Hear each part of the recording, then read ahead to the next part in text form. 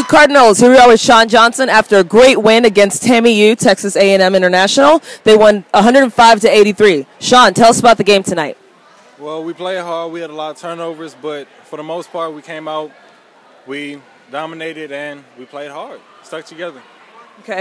What do you think was the best thing you did in this game besides the fact that you crushed with those rebounds and those blocks?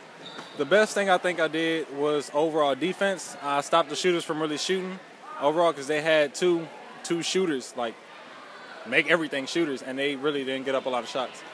Okay. So you guys just came back from another win at Princeton. Tell us about that. What was it like playing up against an Ivy League team? Well, playing against an Ivy League team basically in Princeton, playing against Princeton was it was fun. It was just like every other game, but the tempo was a lot faster. We played against a lot a lot stronger players, faster. They could jump a lot higher, and it's just you got to bring your A game when you play them. You are about to go in there and have the post game uh, conversation with coach and whatnot in the team. What do you think he's going to say to you guys?